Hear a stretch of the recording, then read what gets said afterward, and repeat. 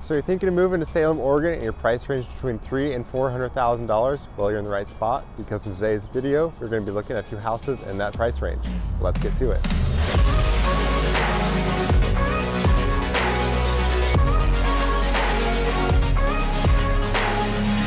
Well, if you're new to the channel and you want to know everything there is to know about living here in Salem, Oregon, consider subscribing so you can stay up to date on the current market. You'll be notified whenever I release new content. My name is Ryan and I am a real estate agent here in Salem, Oregon. And I get calls and texts from people just like you who are thinking of moving to the Willamette Valley. So whether you need to move in a week, a day, or a month, feel free to give me a call, text, or an email. I'd be happy to help you make a smooth move here to Salem, Oregon.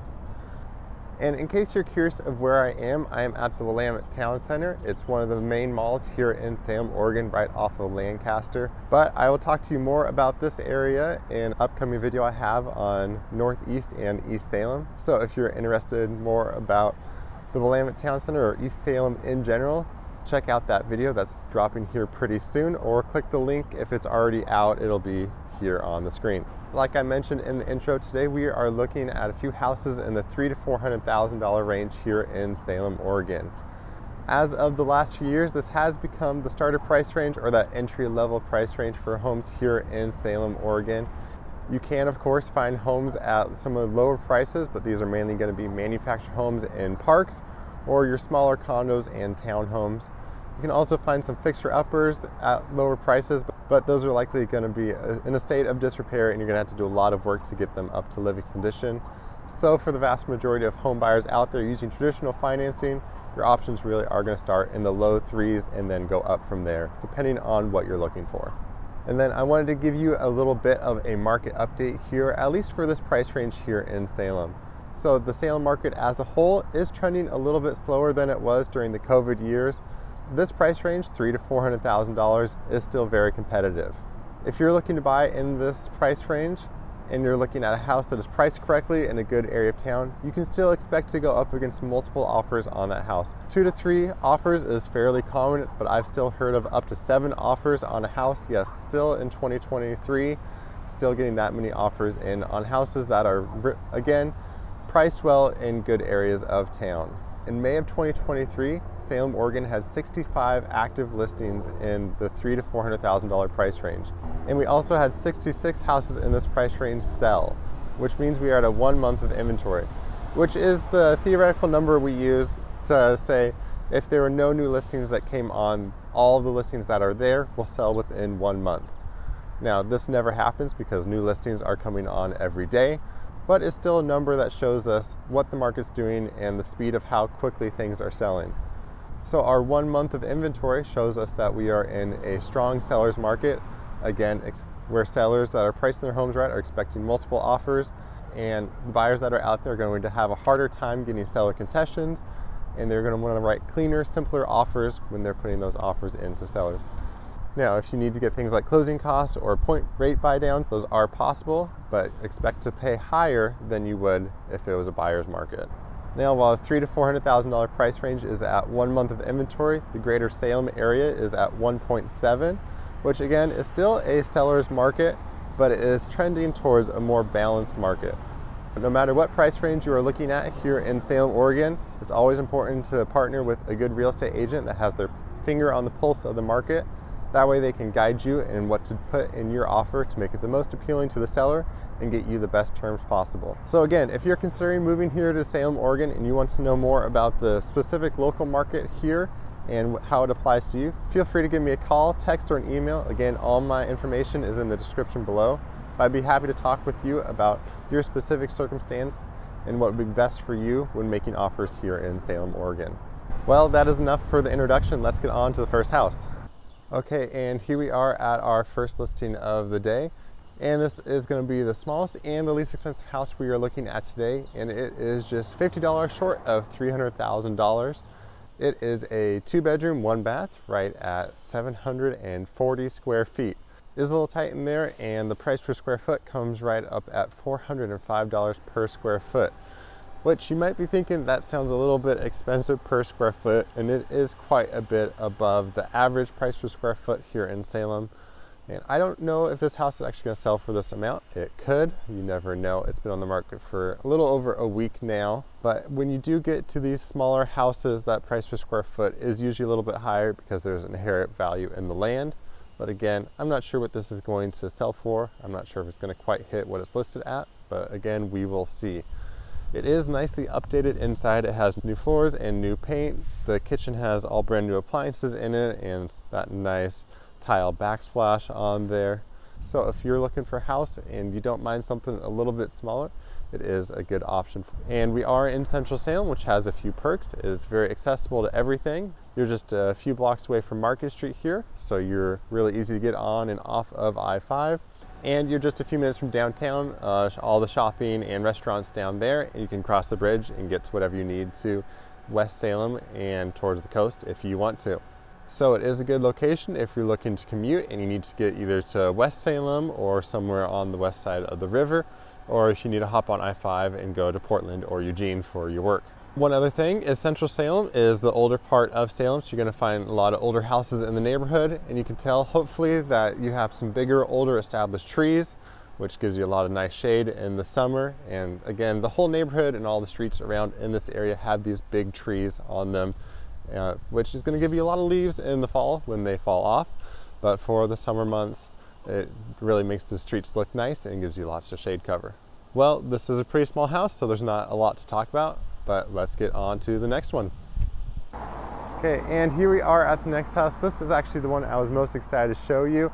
It is a very unique house. It's in kind of a weird location, not for everyone, but because of that, you're gonna get a good deal. And it is this house right over here over my shoulder. We are on a pretty busy street right here, so I'm going to go around the other side of the house so we don't have quite as much road noise. And then we'll talk about this house a little bit more. Okay, and this is where you would drive into this house. And this house is, unlike the rest of them, is not just residential zoning. It is called RM2, which is residential multifamily. And that is going to mean you have a little different setbacks and of course, it's made for multifamily, so you could put two units or like an apartment, which this house is still just single family, but it's zoned so you can put multiple units in on this one piece of land. But again, this is actually the back side of the property, and this house is listed at $325,000. It is a four bedroom, two bath, which is the most beds and bath we're gonna look at today. This house has 1,452 square feet and the price per square foot is $223 per square foot. So it is the most affordable per square foot and you're gonna get a lot of space in there with those four bedrooms, two bath.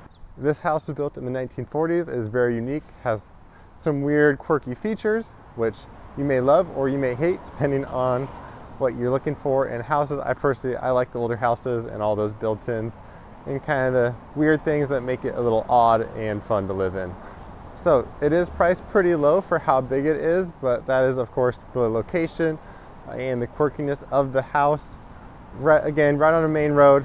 You don't get much of a yard here, just 0.1 acres, and most of it's unfortunately on the street side, not in the back section here. So there's some pros and cons of this property for sure. While it might not be the best location, it is priced fairly well, so it's likely to see multiple offers. Uh, time will tell, of course, but it will probably go pretty quickly that is enough of this one. Let's get on to the next house.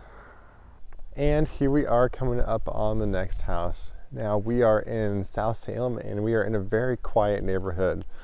I just, it feels very loud me just talking here. And we are up about a half mile away from Liberty Street up the hill.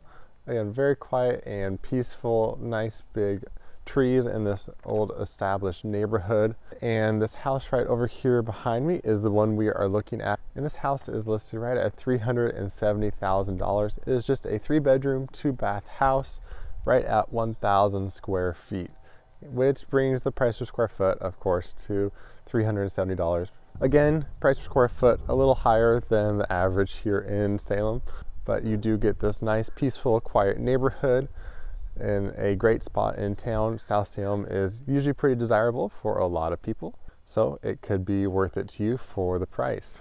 Now the house itself is in very good condition. Looks like they've done some newer flooring. It has an older kitchen, but they've painted the cabinets to make it look a little bit more modern. Again, new paint throughout most of the house. Uh, that roof looks like it's in pretty good condition and it has a very nice private backyard. And it unfortunately only has the one bathroom, so that could be a little bit of a downside. Let's drive around the neighborhood a little bit and get on to the next one.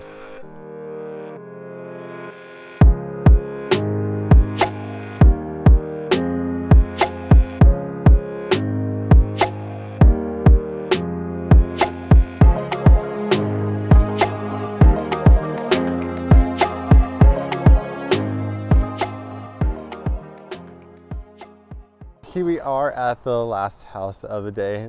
Now we did run into a little bit of a rainstorm, so I'm gonna hide out under these trees for a little bit so we don't get too wet. But as you can tell, this house right behind me is the one for sale. Uh, this house is listed at $384,000. It is a two bedroom, one bath, uh, but it does have a few bonus rooms upstairs that you could use as office or if you wanted to, a bedroom. Depends on how it works out for you and your situation. And this house is 1,268 square feet, which puts the price per square foot right at $302 per square foot. This house is newly updated with flooring, paint. It has been cleaned up. It used to be a rental property and someone came in and fixed it up and made it look a lot nicer than it used to. So it has quite a few upgrades and it's in pretty good condition. And we are of course still in South Salem here. We are actually really close to Creekside Golf Course right off of Sunnyview Road. This area is not the most convenient if you need to commute north to Portland because it's kind of a hassle to get to an exit where you're going north on I-5. But it is a nicer neighborhood. Again, we are pretty close to one of those major roads, so you're gonna get a little bit of traffic noise. But if the road noise isn't a deal breaker for you and it's in your price range, this could be a good option to look at. Well, I'm going to wrap up this video here. I hope you enjoyed the three to four hundred thousand dollar tour of Salem, Oregon and enjoyed a few of the houses that we looked at today. I hope you got a feel for what is available out here. And of course, there are many more options of houses available in this price range. These are just a few that were available for me to look at with you guys here on camera today. Well, again, I want to thank you for watching this video and I hope to see you around town.